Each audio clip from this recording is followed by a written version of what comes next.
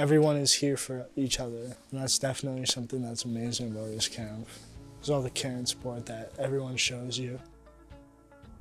Grief is something that is incredibly isolating, and so I knew that if we could find a way to bring people together where they could build bonds and connections and listen to one another's stories, I knew that that would be an important part of people's um, healing through grief.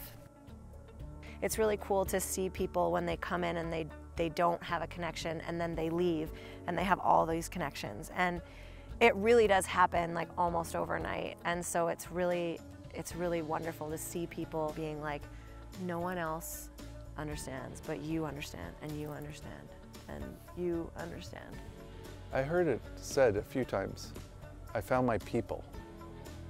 And that's where I think a lot of people will get a sense of belonging once they come here.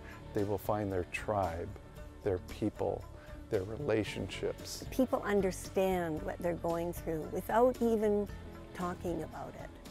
It seems like magic that it's just so inclusive and so open and emotionally safe.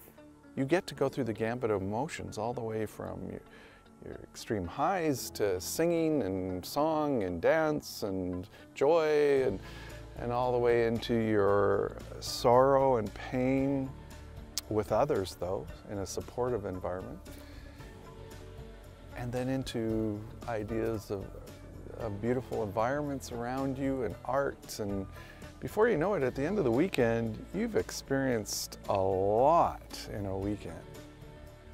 I still feel sometimes like a big challenge comes up in my life and I'm like, wow, I need my mom. But then I have, I have these people here that I can reach out to.